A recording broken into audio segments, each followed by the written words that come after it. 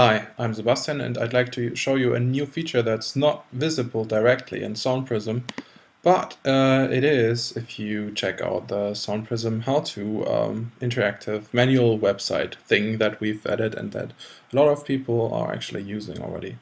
So let's say you've opened uh, SoundPrism and you want to find out how to play, or say you want to find out how to play chord inversions.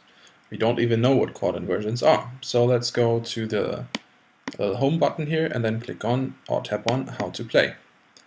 Um, SoundPrism how to opens, which is uh, this uh, interactive website that we've uh, that I've just uh, mentioned, and in there you can uh, choose from a um, multitude of topics, and we've ordered them by how hard they are. Uh, and let's start with an easy one with the introduction.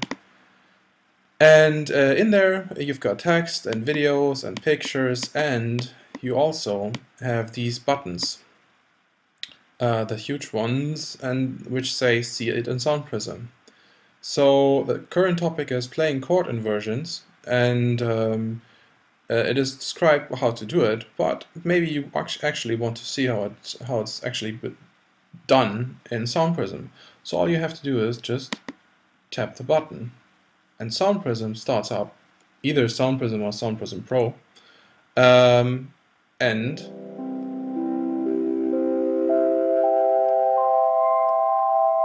you can see it directly inside SoundPrism what we actually mean uh, with uh, the topic that you've just um, read about and wanted to find more about. There's uh, many examples in there and you can actually play along uh, with them while they're uh, replayed. So this is the very first implementation of, uh, of this. I hope you find it very useful and I'm hoping you actually make quite a bit of use of it. Um, so thanks for watching and um, yeah, have a great day. Bye.